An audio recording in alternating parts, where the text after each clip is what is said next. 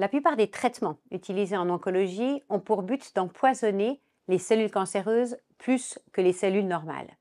L'immunothérapie repose sur une base toute différente. En fait, elle émerge d'une très longue recherche qui tente à essayer de comprendre pourquoi est-ce que nos organismes tolèrent encore aussi étranger, aussi anormal qu'une cellule cancéreuse.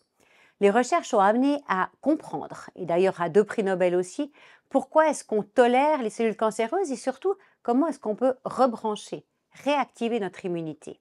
Aujourd'hui, on a un nombre limité de médicaments qui malheureusement n'arrivent pas encore à réactiver l'immunité dans toutes les tumeurs, mais dans un certain nombre. La recherche continue euh, à trouver des pistes, à essayer d'étendre hein, l'indication de cette réactivation du système immunitaire, si possible, à tous les cancers.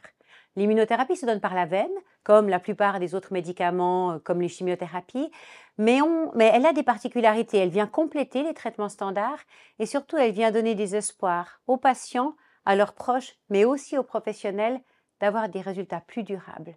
Au même titre qu'en vaccin, quand on réactive l'immunité contre une tumeur, on espère que l'efficacité ou en tout cas que l'effet bénéfique puisse s'étendre beaucoup plus longtemps, voire ce qu'on appelle un bénéfice à long terme, c'est-à-dire réellement contrôler au long cours la maladie. Tout est objet de recherche, de résultats préliminaires très prometteurs, d'application dans certaines maladies, et on est tous, vous, nous, les proches, dans cette action contre le cancer et dans les espoirs de l'immunothérapie aujourd'hui.